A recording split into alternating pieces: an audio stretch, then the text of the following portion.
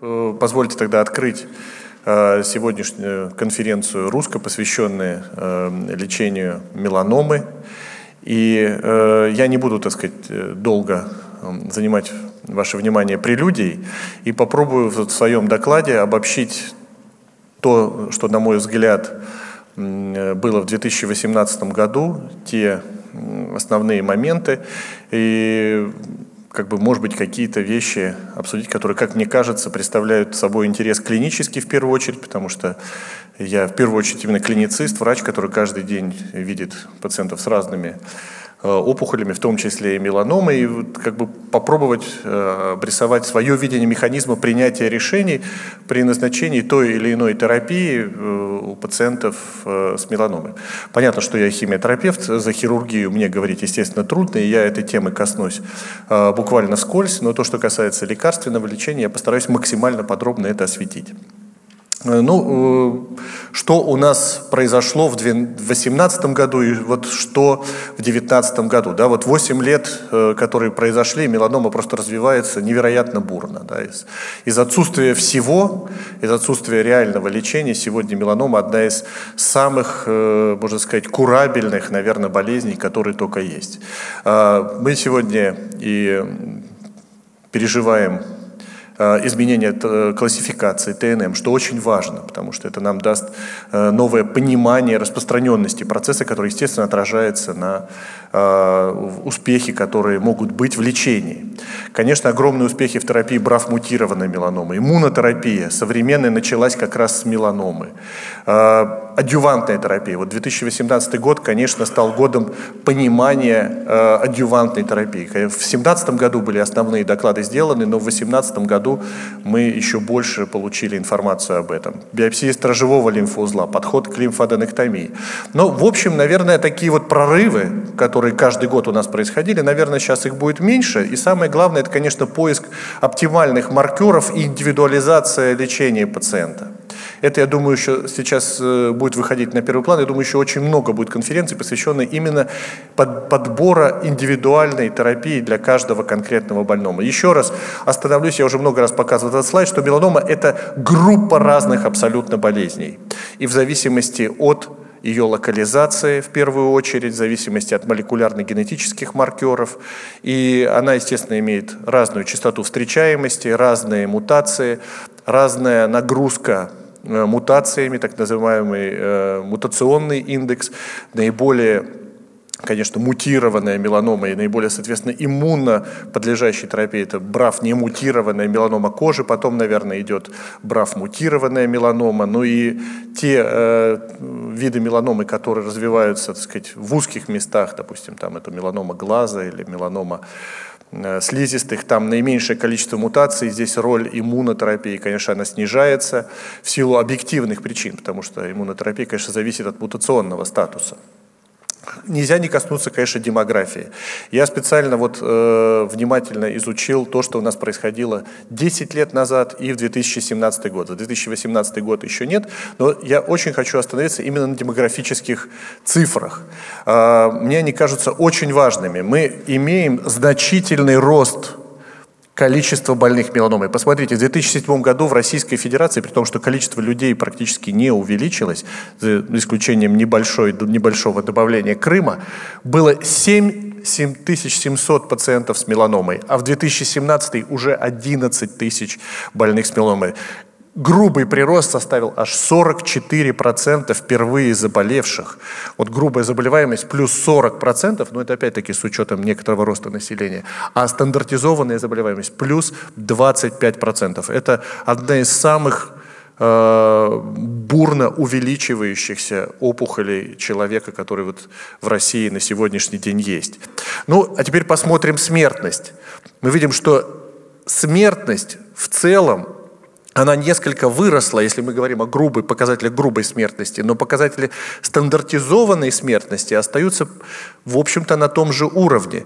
То есть э, можем сказать, что да, несмотря на то, что каких-то выдающихся, может быть, в нашей стране конкретно прорывов не было, тем не менее мы, наверное, несколько лучше лечим больных сегодня, чем это было в 2007 году, несмотря на отсутствие, может быть, доступа идеального к препаратам и так далее. Тем не менее, есть э, как минимум стабилизация смертности. И э, что я еще хочу обратить внимание, на средний возраст заболевших он несколько вырос – то есть э, это, наверное, отражает и количество, э, большее число пожилых людей, которые заболевают меланомой. Немножко дольше живут россияне, немножко увеличивается средний возраст, он скорее двигается в ту сторону, как это происходит в западных странах. Чем дольше люди живут, чем больше частота меланомы, тем выше средний возраст. Но посмотрите, вот здесь вот дельта, она где-то чуть более двух лет разница произошла за 10 лет в заболеваемости. Но если мы посмотрим дельту в э, среднем возрасте умерших, то она составляет 4 года.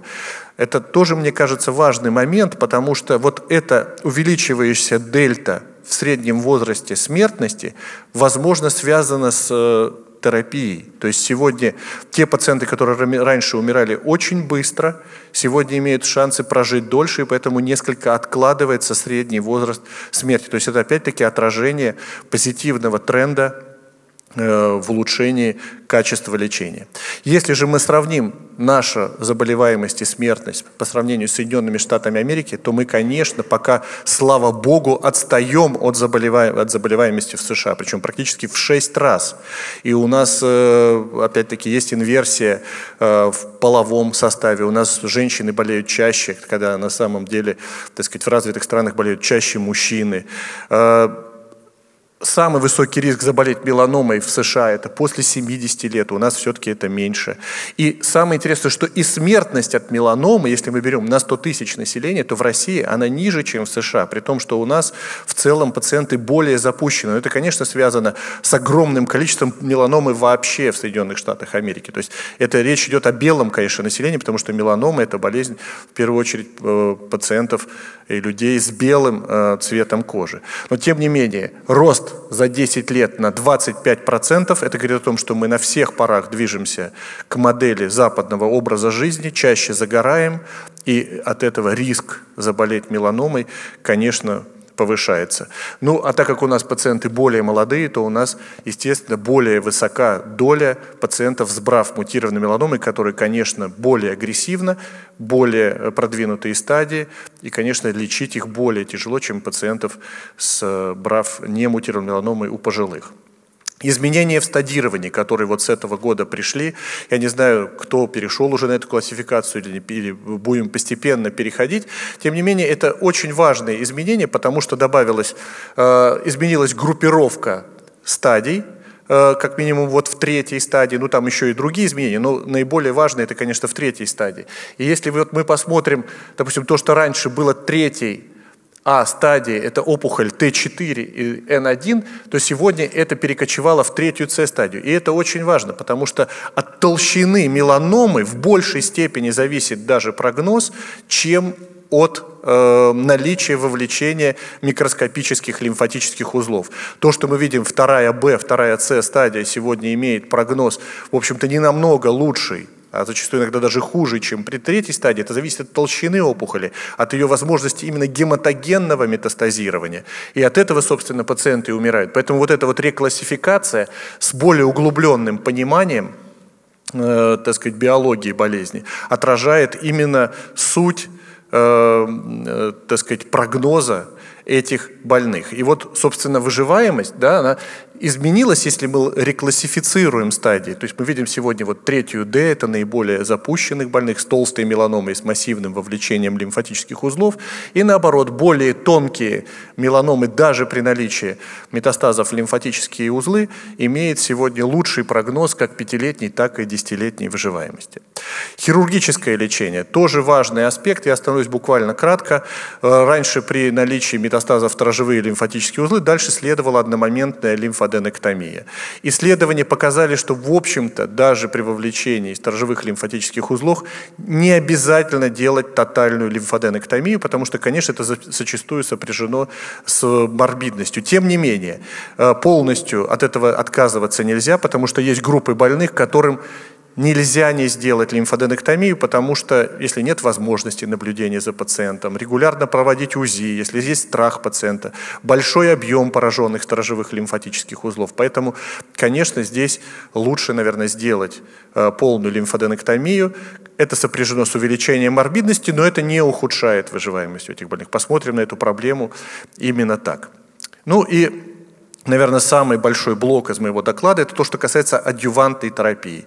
Вообще, зачем нужна адъювантная терапия? Да, мы видим кривые выживаемости у больных с третьей стадии, они недостаточно хороши, прямо скажем, больные прогрессируют и потом, к сожалению, умирают. Поэтому нам нужно обязательно снизить риск и локального, и локорегионального прогрессирования, уменьшить количество отдаленных метастазов и тем самым, естественно, увеличить общую выживаемость. Вот если мы посмотрим цифры выживаемости больных в зависимости от стадии по седьмой классификации, да, мы видим, что третья 68%, 42 и 25 соответственно, да, 3А, 3Б, 3С, десятилетняя выживаемость, то вот по восьмой классификации опять-таки даже пациенты с третьей А стадии – Э, где очень тонкая меланома, но при этом есть микроскопическое поражение, тем не менее не все из них выздоравливают далеко, а пациенты с большой опухолевой массой имеют вообще очень э, плохую выживаемость. Ну, что надо сказать, что эра интерферона, на мой взгляд, и я не, не устаю это говорить из наших всех совещаний, на мой взгляд, она закончилась.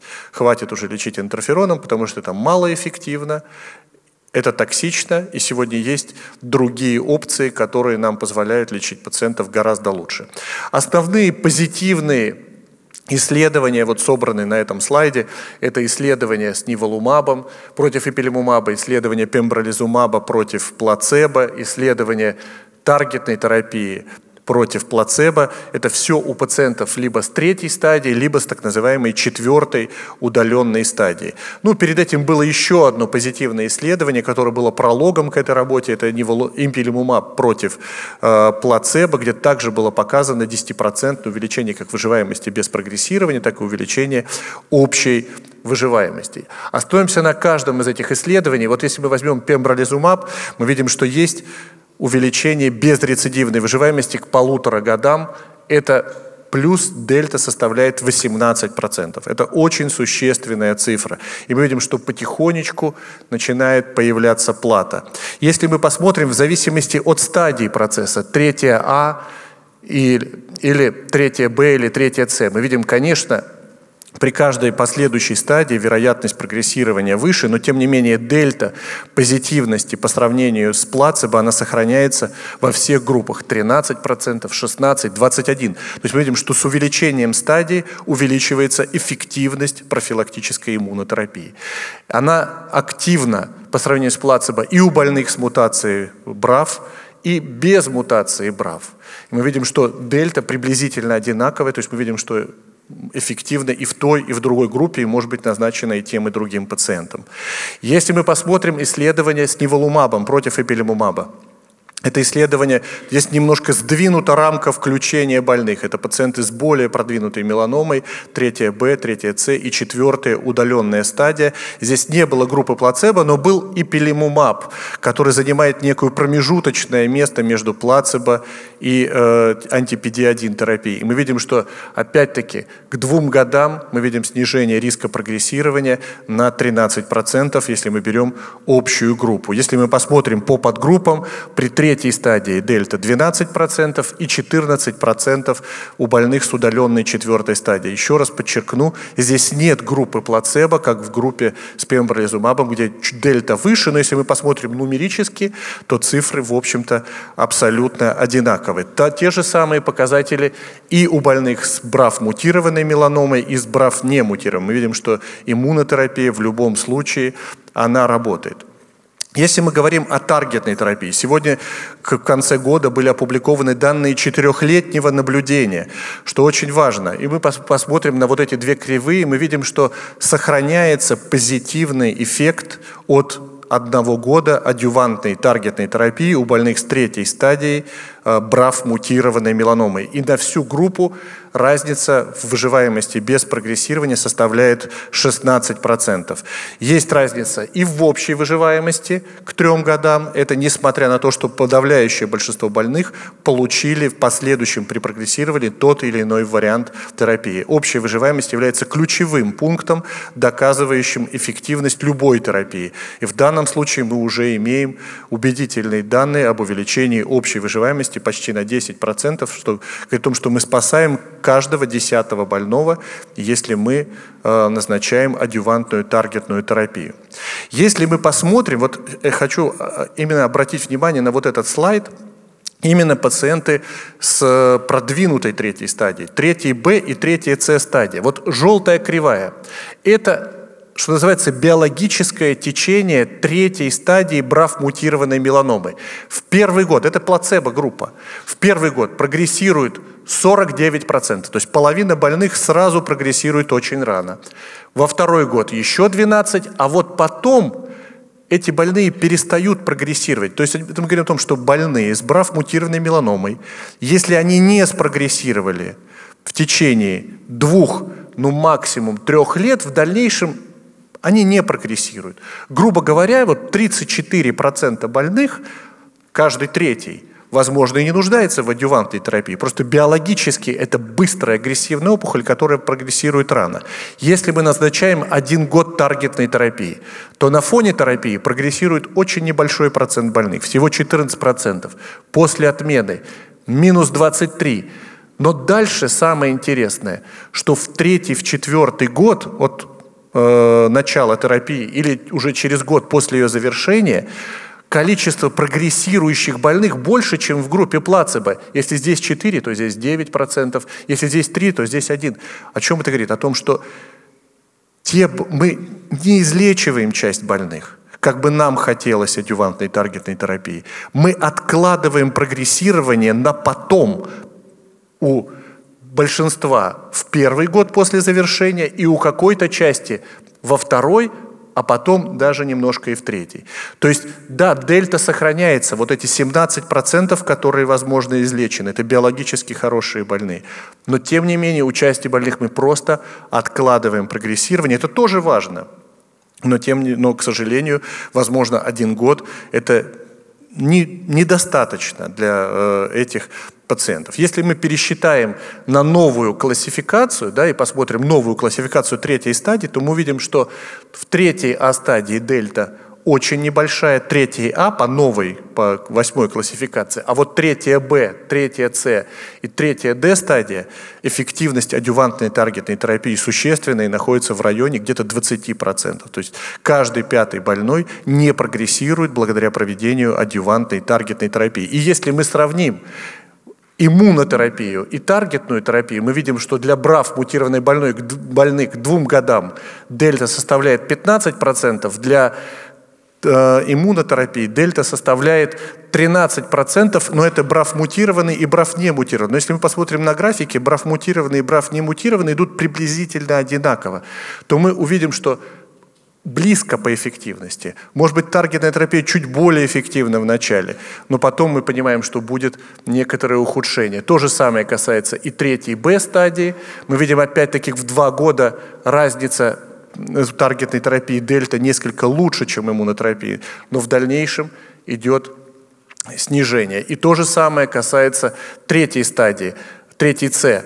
В первый год дельта 21% и 27% для брав мутированной меланомы, но в дальнейшем она начинает съеживаться. Для иммунотерапии мы надеемся, что не будет вот этого снижения графики, потому что иммунотерапия все-таки имеет иной механизм действия, и года лечения, наверное, эффективного лечения для иммунотерапии будет достаточно. Мы, естественно, не могли не включить э, вот имеющиеся научные данные, и самое главное, что регистрационные изменения в лекарствах. И на этом год уже, э, я надеюсь, мы будем этим пользоваться в рамках нашей рутинной практики. Понятно, дорого, понятно, что непросто. Тем не менее, надо пытаться к этому идти, идти, потому что не лечить этих больных сегодня в адъюванте или назначать им интерферон, ну, это, наверное, категорически неправильно. Сегодня э, вопрос об эффективности уже просто не стоит. Таким образом, что мы сегодня имеем для адювантной терапии? Э, брав мутированная меланома может использоваться как таргетная терапия, так и иммунотерапия. При немутированном варианте это адювантная антипедия иммунотерапия, равноэффективна и ниволумаб, и пембролизумаб. При проведении адювантной иммунотерапии у 30-35% пациентов мы видим сразу же идет прогрессирование. То есть они не иммунозависимы. Как сегодня выделить этих больных, мы не знаем. И самое главное, а что после, если они брав не мутированные, что с ними потом делать? Какое лечение проводить, если мы увидели иммунонечувствительность с брав не мутированной меланомой на фоне проведения адюванта. Что остается? Химиотерапия, эпилимумаб. Эпилимумаб слабее, токсичнее, дороже. Насколько химиотерапия малоэффективна. То есть это несколько тупиковые ситуации для клиницистов, и мы все с ней обязательно столкнемся.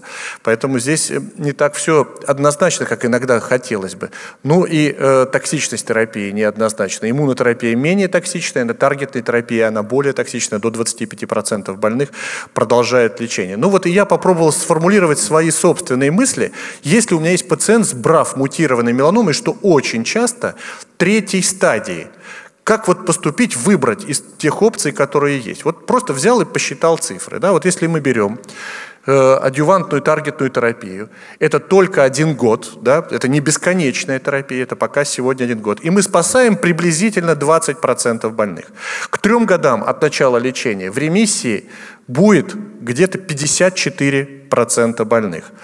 Значит, все пациенты, которые получали адювантную терапию и спрогрессируют, и как бы не спрогрессируют, если они ее закончили, должны, на мой взгляд, проходить крайне тщательное обследование с тем, чтобы потом, а прогрессирование случится приблизительно у 46% больных, для них есть терапия спасения.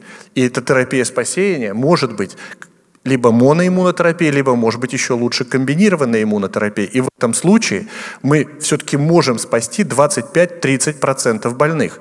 Но и опять-таки эта терапия не бесконечная, как если мы рассматриваем, допустим, э, таргетную терапию по поводу метастатической брав мутированной меланомы, если пациент отреагировал. Значит, комбинированная иммунотерапия, еще раз повторю, не длится вечно. И еще интересный момент, если прогрессирование случилось то у нас остается опция ретритмента, опять таргетной терапии. То есть у нас сохраняются опции лечения. Таким образом, вот в продвинутой брав мутированной меланоме чисто теоретически мы можем спасти 70% больных.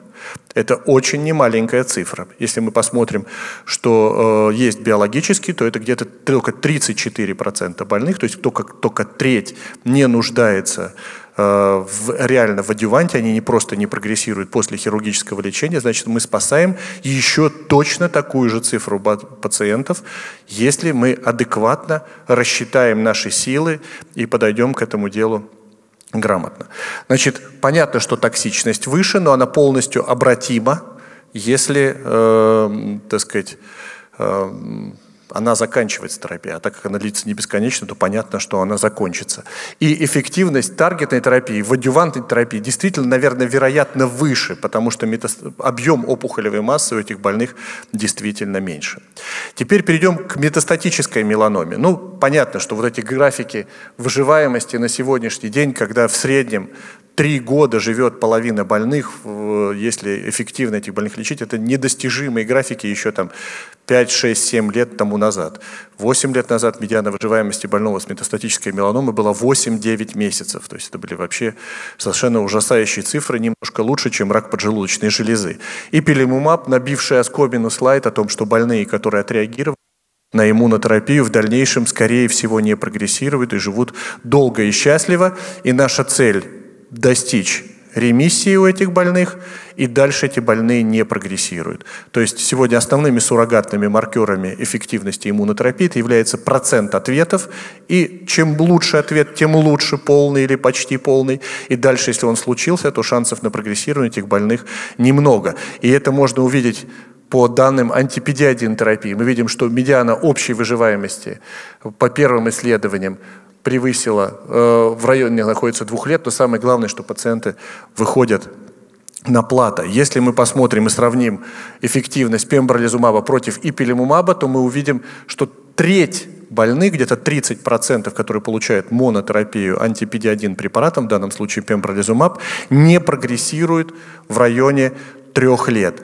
И как вычислить этих больных? Это э, серьезный вопрос, я к этому еще вернусь. И мне кажется, что PD L1 экспрессии является один из тех важнейших суррогатных маркеров, который определяет потенциальную чувствительность к монотерапии э, анти-PD1 препарата. Мы видим, чем выше экспрессия PDL1, тем больше шансов получить ответ.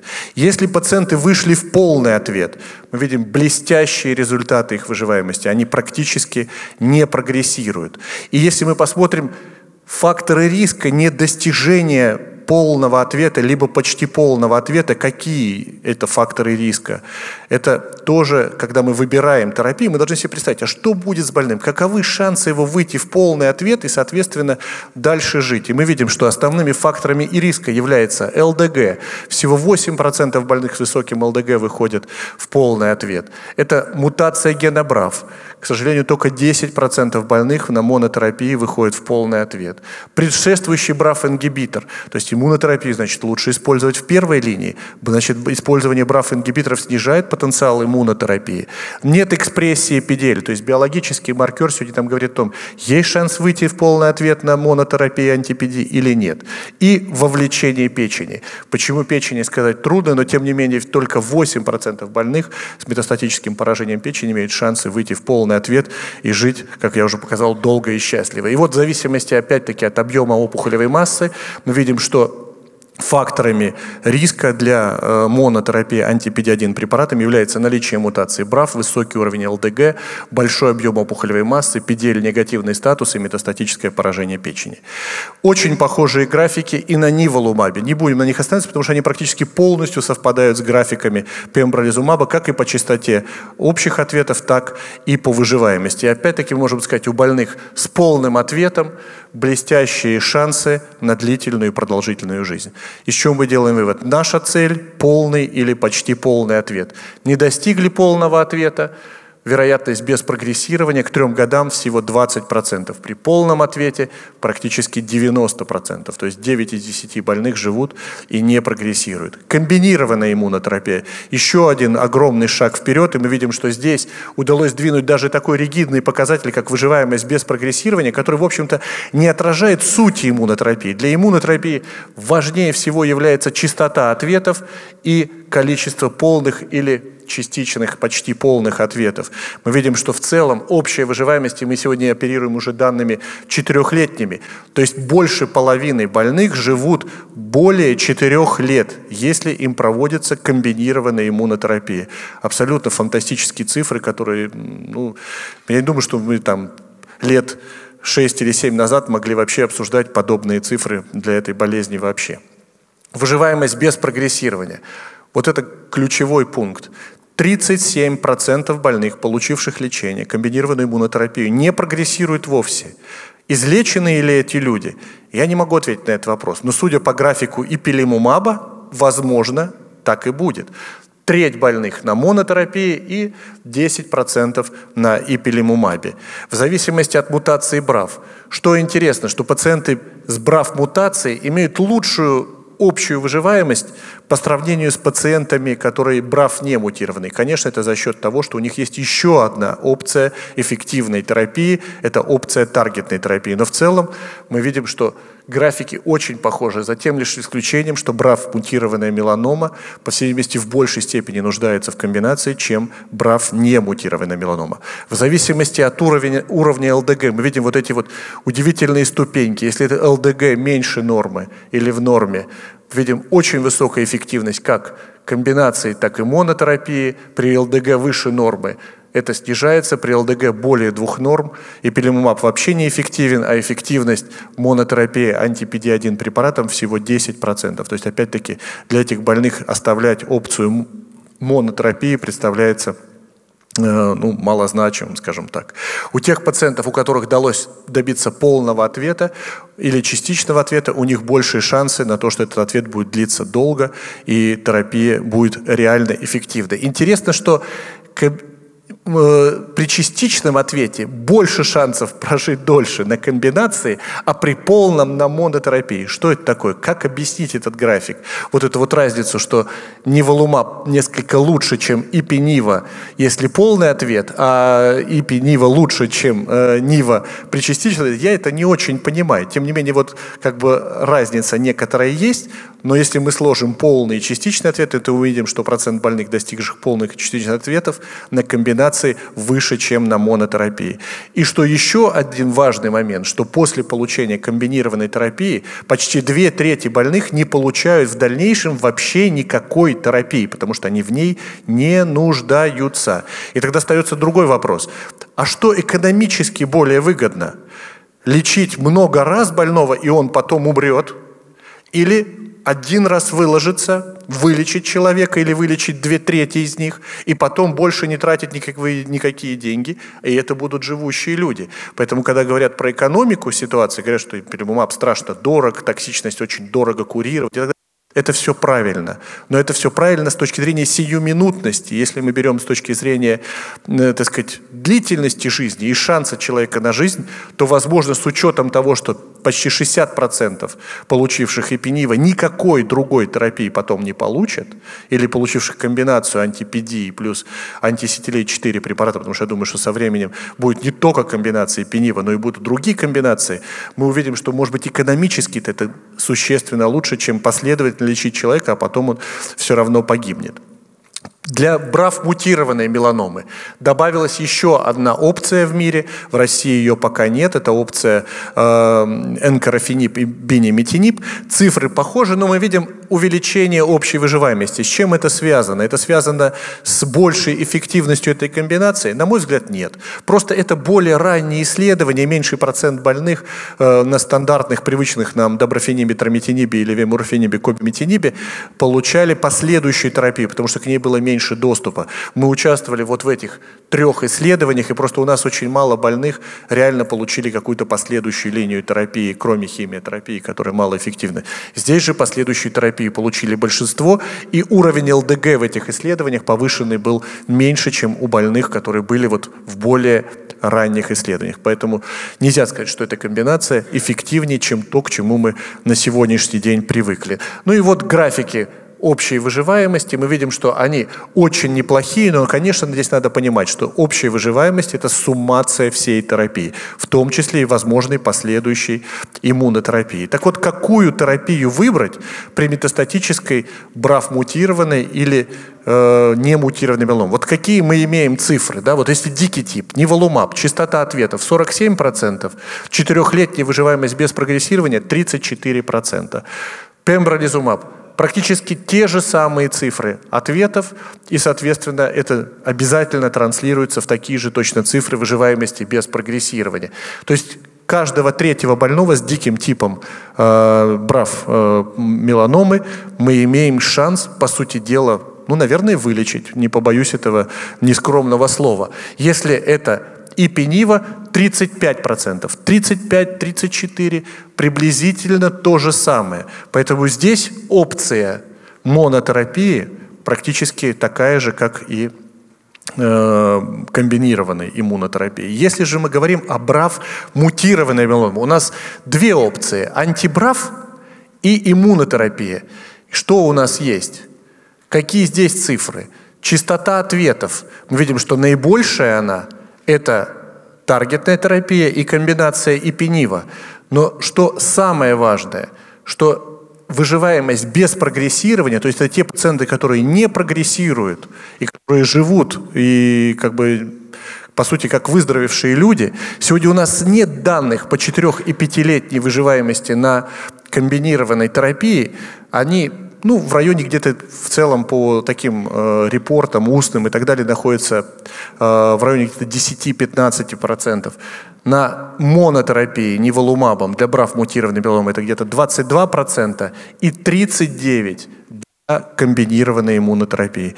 Мы видим, что, конечно, польза от комбинации наибольшая именно в брав мутированной меланомы. Когда перед нами стоит выбор, что делать, то, наверное, именно эта подгруппа больных больше всего нуждается в комбинации.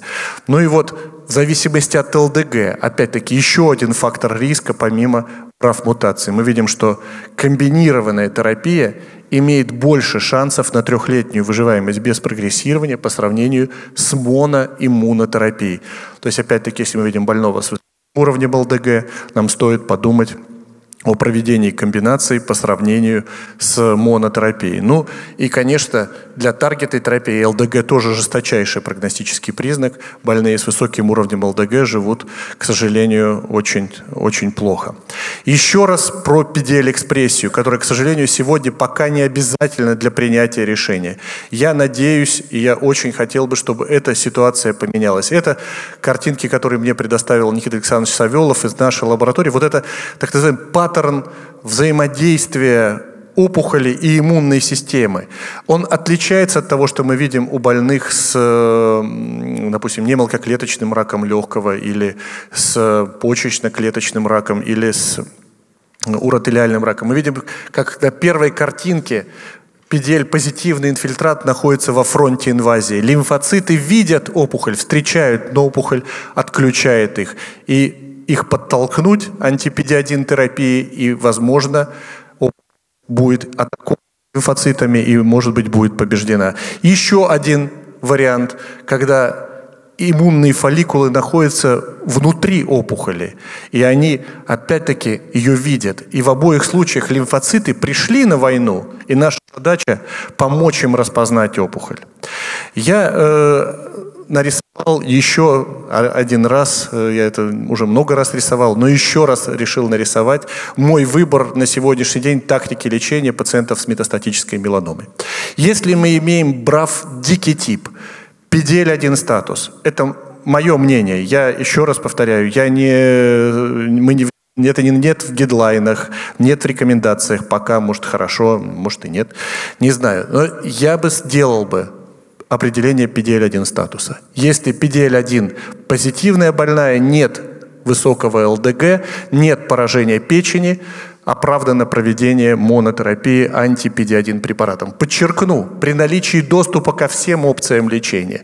Вторая линия, соответственно, может быть комбо или химиотерапия. Если же пациент из группы скажем так, высокого риска, PDL-1 негативная опухоль, повышение ЛДГ или поражение печени, то есть любой из этих неблагоприятных признаков, тогда, наверное, имеет смысл идти в качестве первой линии на комбинированную иммунотерапию. Для брав мутированной меланомы, если мы говорим о малосимптомном процессе, то это комбинированная иммунотерапия, то есть там, где мы не боимся опоздать с ответом, если симптомный выраженный агрессивный процесс, то это комбинированная таргетная терапия. Ну и следующая линия, соответственно, vice versa. То есть наоборот, в зависимости, если пациент спрогрессировал, значит следующий вариант тот, который не был использован. Ну и, конечно, монотерапия у больных с БРАФ мутированной тоже имеет право на жизнь, но опять-таки это больные, у которых ЛДГ не выше нормы, нет балки, ну и, возможно, пациенты э, определенного преклонного возраста. Если же мы имеем отсутствие доступа, например, к эпилимумабу, то картинка не проще. Это монотерапия при прогрессировании, тоже вариант, наверное, монотерапии или химиотерапии. Для брав мутированной меланомы, опять-таки, это монотерапия или комбинированный таргет, и наоборот, в зависимости от того, что использовалось ранее. Таким образом, что в 2018 году? Мы все больше себе отдаем, конечно, отчет, что меланома – это курабельная болезнь. И чем лучше понимание биологии болезни, и из этого развивается, как говорится, наша практика. Чем лучше мы разбираемся в биологии, я надеюсь, мы сможем подобрать более эффективную терапию. Сегодня есть эффективная терапия третьей стадии, адъювантная – не все больные, понятно, будут излечены, но тем не менее результат может быть драматически лучше, чем то, что было раньше. Очень нужна адювантная терапия второй стадии. Метастатическая меланома. Три можно спасти. И медиана общей выживаемости три года сегодня, по сути дела, стала нормой. Ну и, конечно, идет интенсивный поиск факторов прогноза, э, как при третьей стадии, так и при метастатической меланоме. И сегодня даже пациенты с метастатическим поражением головного мозга теперь не рассматриваются как инкурабельными. Спасибо за внимание.